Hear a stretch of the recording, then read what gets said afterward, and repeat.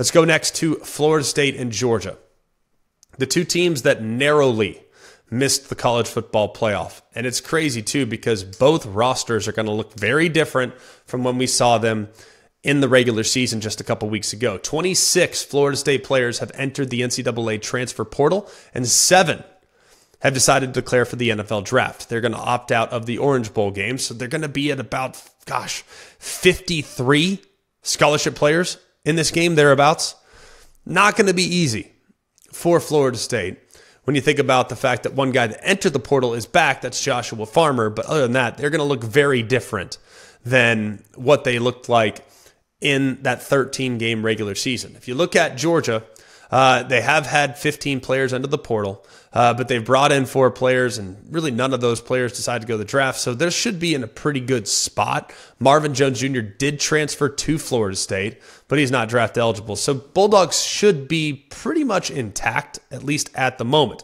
Like I said, it's not really 100% certain, not 100% certain, but as of right now, Sedrick Van Pran, their center, is going to be playing. Malaki Starks, he's going to be playing. Sounds like Brock Bowers uh, is dealing with an injury, so it's not likely that he's going to be available for the Orange Bowl. But still, Ladd McConkey might be back. These are all things that we're still trying to figure out. But at the moment, it should be pretty good for the Georgia Bulldogs. When you look at what Florida State has, Florida State has excellent personnel. They have really good players. So we're going to get to them in a moment, but we're going to start with the Georgia Bulldogs because their key player is Carson Beck, and he is back. He's waited a long time as Georgia's starting quarterback.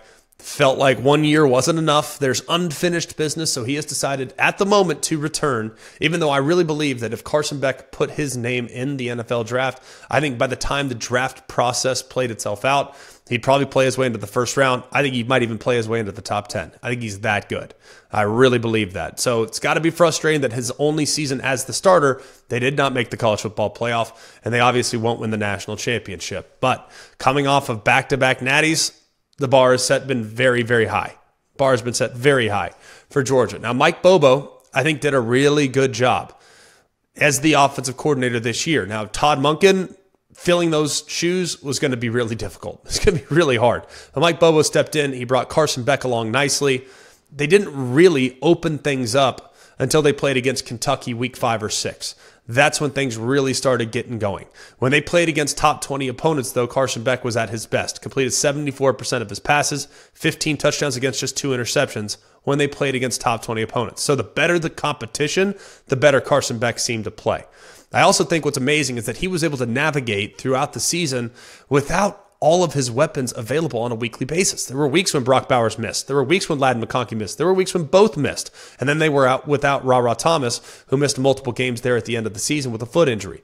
The offensive line is also been without some great players at times. Ratledge has missed some time. Amarius Mims has missed some time. His right guard and his right tackle have both been out. But Carson Beck's been steady, and he's been the guy that's guided them to this position.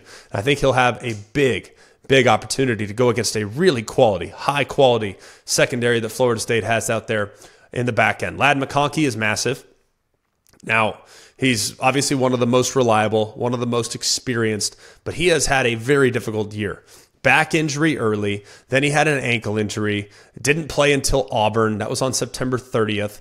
Then he came out, played against Florida, balled out against Florida, I might add. Six catches for 135 and a touchdown Then they dominated Florida. But down the stretch, there wasn't a whole lot. He sprained his ankle against Ole Miss, and we didn't see a whole lot for him. But he's an amazing route runner. He's got terrific top end speed, and he'll be the go to guy in the passing game for the Georgia Bulldogs heading into this one. If you look at how Georgia wins the game, uh, I think it's pretty simple solution. They have to be able to run the football. They have to be able to find ways. There's going to be some young receivers out there. There's going to be some guys with a little less experience, but those guys have a ton of talent. We're going to get a really good look at what Georgia's going to be in 2024 by watching the Orange Bowl game here in 2023. This is an offense that has great, great talent. Now, the defense, is not quite the same as they've been in the past. They're excellent at safety, even teetering on the edge of being super elite at safety, I would say. I think they're excellent at one of the corner spots. I think the other corner is just okay, at least at this point of his development, but he has gotten better as the season's gone along. I think the defensive line is not what they've been in 21 and 22, particularly on the edges of the defense. Now, Mykel Williams was a little banged up early. Really never found his footing until the end of the season. He, I think, is going to be massive for them as they go into this one. Chaz Chambliss already announced that he will be back next year. He, at times, has been up and down as well on the edges of the defense. So, will Florida State be able to attack the edges of the defense? That's been a problem spot for the Georgia Bulldogs. Edge defense against the run. Can Florida State take advantage? But with Florida State, it's pretty simple. Uh, it's all about their personnel at the running back spot, whether it's Trey Benson, Lawrence Toafili, they're going to have to take the pressure off of Brock Glenn. Tate Rodemaker decided to enter the transfer portal. He will not play in the Orange Bowl game, so it's going to be all about being able to run the football. Now, Rodney Hill also entered the portal, so how will they divvy up the reps? I would think Toafili will get a lion's share. He announced that he's going to be coming back, so that is significant when you look at what he could mean for Florida State in this game. You look at the rest of the team, offensive line for the most part, they will have a few guys that they're without. Their defensive line, they'll have a few guys that they're without. It's really unfortunate because I would have loved to have seen Florida State at full strength heading into this game. We're just not going to have that. And it's going to be, a, I think it's going to be a little frustrating, frankly, because I would love to have seen how they would have competed. Even in the absence of Jordan Travis, I would love to have seen them compete against the Georgia Bulldogs with Georgia at full strength and Florida State at full strength so we could get an assessment as to whether or not Florida State should have been in the college football playoff. I would have loved to have seen it.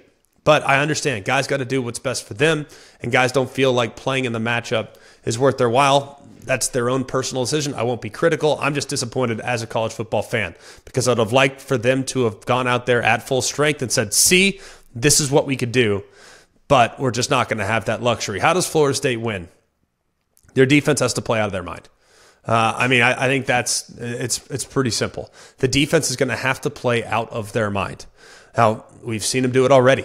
We saw them do it against Louisville, but this is a significant step up in quarterback play. With no, with all due respect to Jack Plummer, Carson Beck is not going to go 0 for 13 with an interception on passes that are thrown 10 or more yards downfield. Just not going to happen. I also think that it's going to be much more difficult for Florida State to cover the receivers because if you look at Louisville, if you look at some of the teams they play down the stretch, the receiver position not quite as good as what they're going to see when they tee it up against the dogs.